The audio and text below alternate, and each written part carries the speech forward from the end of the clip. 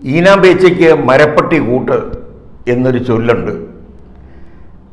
അതുപോലെയാണ് അവസാനം നമ്മുടെ ആരോരുമില്ലാത്ത ആരും ഏറ്റെടുക്കാൻ തയ്യാറാകാത്ത നമ്മുടെ പി സി ജോർജിനെ കെ സുധാകരൻ നമ്മുടെ K P C C president K Sudhakaran ഏറ്റെടുത്തിരിക്കുന്നു. അപ്പോൾ രണ്ടുപേരും കൂടി ചേരുമ്പോൾ സുഖമായിരിക്കും.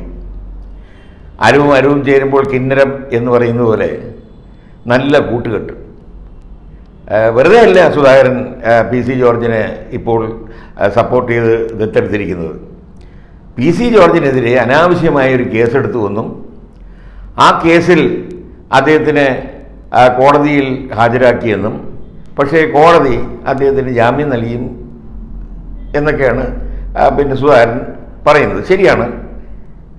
പി സി ജോർജിന് ജാമ്യം ലഭിച്ചു കോടതി ജാമ്യം കൊടുത്തു. പക്ഷേ സുധാകരൻ ഈ വൈകിയ വേളയിൽ ജാമ്യം കിട്ടിയതിന് ശേഷം പി സി ജോർജിനെ ന്യായീകരിക്കാൻ എത്തിയതാണ് നമുക്ക് കൗതുകം. പി സി ജോർജിനെ അറസ്റ്റ് ചെയ്തപ്പോഴോ അല്ലെങ്കിൽ ആ പി സി ജോർജിനെതിരെ ഈ ലൈംഗിക ആരോപണം ഉന്നയിച്ചപ്പോഴോ ഒന്നും പി സി ജോർജിന്റെ സഹായത്തിന് എത്താത്ത സുധാകരൻ.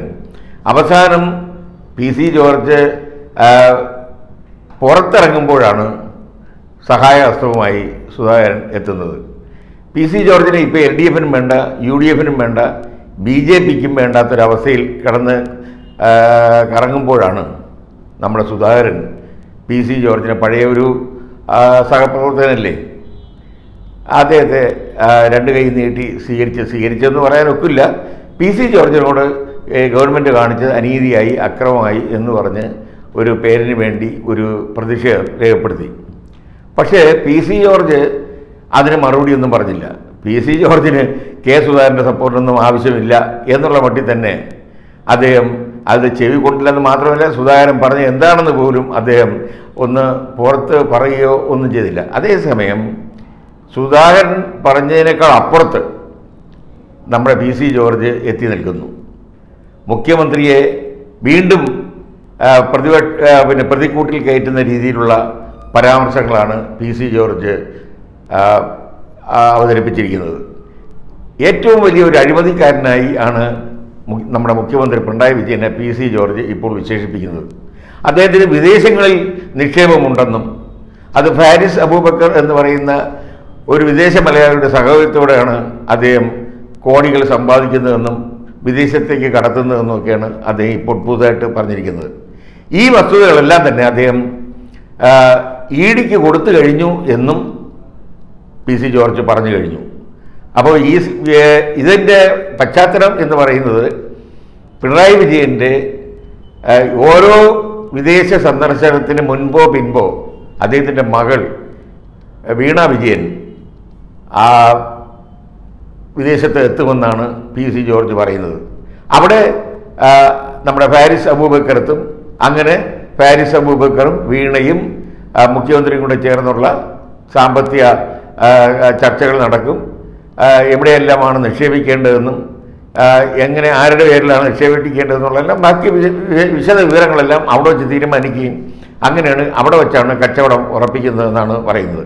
അങ്ങനെയുള്ള അതിസൂക്ഷ്മമായ വിവരങ്ങളാണ് പി സി ജോർജിന്റെ കൈവശം ഉള്ളതെന്നും അദ്ദേഹം അത് ഇ ഡിയെ ഏൽപ്പിച്ചിട്ടുണ്ടെന്നും അദ്ദേഹം പറയുന്നു. അത് മാത്രമല്ല ഇ ഡി ഒരുപക്ഷേ ഈ അന്വേഷണം താളത്തിലാക്കുകയോ അല്ലെങ്കിൽ കണ്ടില്ലെന്ന് നടിക്കുകയോ ചെയ്യുകയാണെങ്കിൽ അതിന് മറികടക്കാനായി അദ്ദേഹം പ്രധാനമന്ത്രി നമ്മുടെ നരേന്ദ്രമോദിയെയും കാണാൻ തീരുമാനിച്ചിരിക്കുന്നു എന്നും പുറത്തു പറഞ്ഞിട്ടുണ്ട്.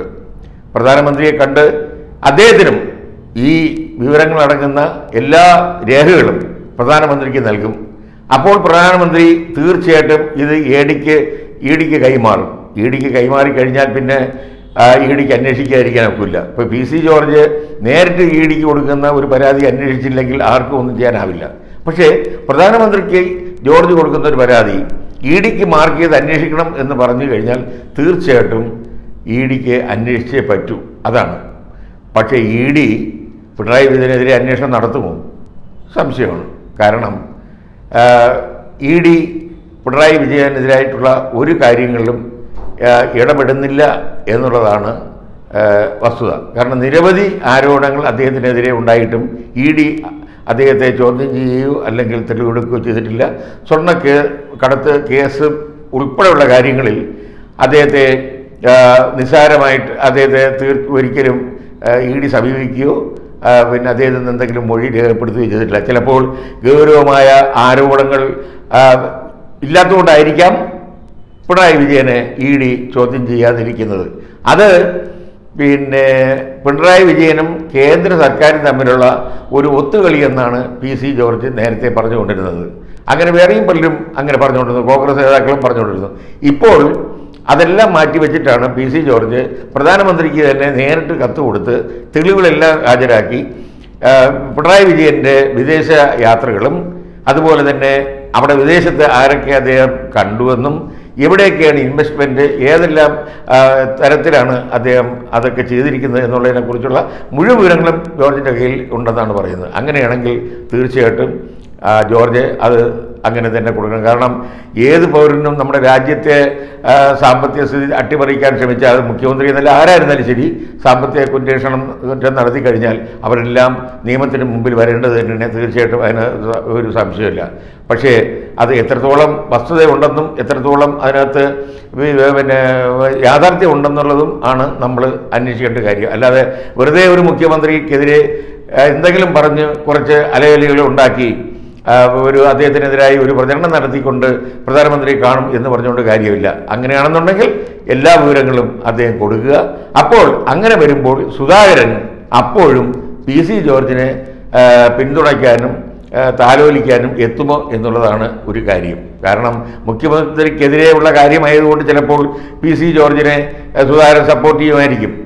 അതായി അത് അത് സുധാകരന്റെ ഒരു ശൈലിയാണ്. കാരണം രണ്ട് കണ്ണൂരുകാരാണല്ലോ പിണറായിയും സുധാകരനും. രണ്ട് കണ്ണൂരുകാർ ഒരിക്കലും എതിർചേരിയിൽ നിന്ന് സ്വയം അങ്ങോട്ടും ഇങ്ങോട്ടും പിന്നെ എന്തെങ്കിലും വിമർശിക്കുക എന്നുള്ളതല്ലാതെ തീർച്ചയായിട്ടും ഒരു സഹായ സഹകരണം അവർക്ക് ഒരിക്കലും ഇതിലുണ്ടായിട്ടില്ല അപ്പോൾ അതുകൊണ്ട് സുധാകരൻ ചിലപ്പോൾ സഹായിക്കും. ആ ഒരു ഇല്ല ഇതും കൂടെ വെച്ചുകൊണ്ടായിരിക്കും പി സി ജോർജ് ഇതിനെ മുതിരുന്നതെന്ന് തോന്നുന്നു. എന്തായിരുന്നാലും ഒരു അവസാനം ഒരു നല്ല കൂട്ടുകെട്ട് കേരളത്തിൽ ഉണ്ടായിരിക്കുന്നതിൽ നമുക്ക് എല്ലാവർക്കും സന്തോഷിക്കാം.